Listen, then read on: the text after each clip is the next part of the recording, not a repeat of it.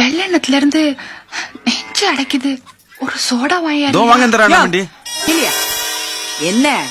என்னமா விரட்டி விட்ட நாய் மாதிரி பறிறியே எங்க போற நீ? அண்ணன் வண்டிக்கு சோடா வாங்கி. ஆ, உனக்கு ஆடு வாங்கியார தெரியாது கோழி வாங்கியார தெரியாது ஜோடா மாத்திரம் வாங்கியார தெரியுமா?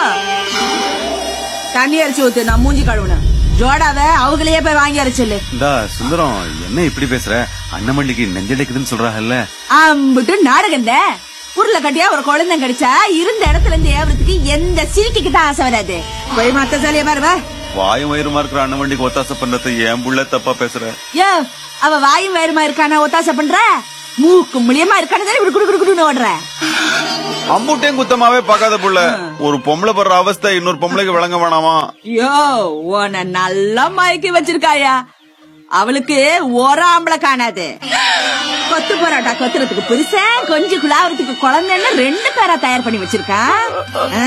அதுதான் அவ படுற அவஸ்தை தாங்காம குதிக்கிற கிடந்து. போதும் புள்ள.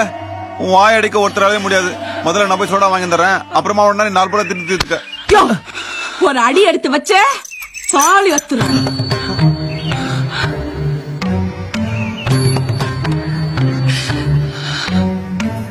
யாரையும் ஆக்க வேண்டாம். நானே போய் சோடா வாங்கிக்கிறேன். இனிமே எந்த பேச்சு என்னால தாங்கிக்க முடியாது. உன்னை கையெடுத்து கும்பிடுற இனிமே விடக்குன்னு எதையும் சொல்லிடாத.